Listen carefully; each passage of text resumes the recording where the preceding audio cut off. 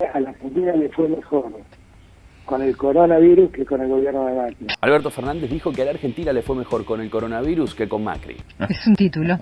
Alberto Fernández... Pero eso es objetivamente así. ¿eh? Además reveló que en una charla que tuvieron un día después de decretada la cuarentena, el expresidente le recomendó que dejara salir a la gente y se contagiara. Algo que todos desconocemos y que él dice que dijo porque es una conversación privada. Además, mediante un decreto, el gobierno declaró a la telefonía celular, fija, internet y televisión paga como servicios esenciales. En fin, uno piensa que las medidas las toma, algunos piensan, por lo que fue la historia reciente, que es una, una pelea. Yo no, no estoy peleando, yo estoy defendiendo los intereses de los argentinos. Massa dijo que se va a demorar la reforma judicial en diputados y en lo que va de agosto el Banco Central vendió reservas por 738 millones de dólares, superando el récord de mayo. Además, hoy el presidente recibirá a la madre de Facundo Astudillo Castro. Principales temas para estar bien informado.